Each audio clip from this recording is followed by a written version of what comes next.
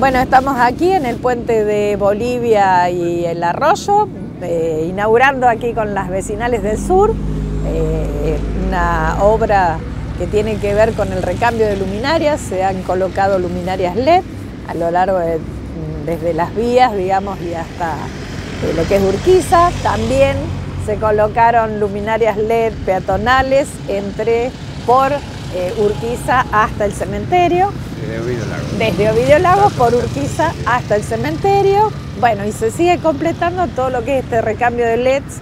Se hizo también por calle Neuquén frente al Club News.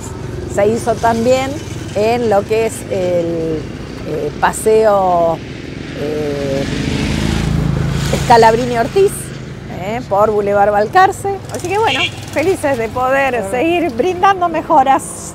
Sí, sí, muy contenta por el la nueva luminaria. Ahora nos vemos de lejos.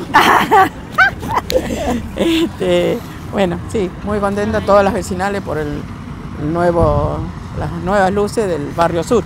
Así es. Sí, también la San Martín un agradecimiento especial a la gestión de Esther y a todo su grupo porque todos estos años que hemos trabajado juntos eh, te hace muy fácil todo, apenas se lo pide, se solicita algo, se cumple a la corta o a la larga. Pero muchas gracias por la gestión y la, San Martín va a estar siempre. Sí, de parte de Comisión Vecinal La Usina también, lo mismo que decía Jorge. Yo creo que estos años hemos trabajado en conjunto todas las vecinales del sur, tanto en lo social, en lo cultural y también en obras públicas, y eso es muy importante que de la mano de la intendenta, como en este caso, siempre nos ha escuchado y hemos tratado de solucionar las cosas que estaban sucediendo en cada barrio.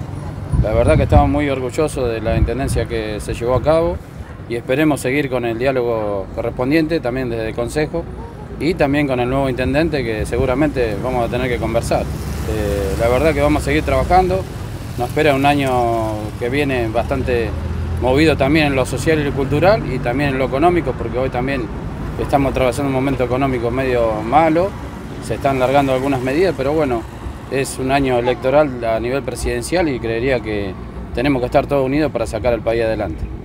Así es, bueno, el orgullo es mío de trabajar con todos ustedes, de haber trabajado y por supuesto seguir trabajando desde, desde otro lugar. Como verán, eh, eh, calle Bolivia acá parece la General Paz. no para de pasar gente, una arteria muy, muy transitada. Así que bueno, a seguir adelante muchachos y fuerza.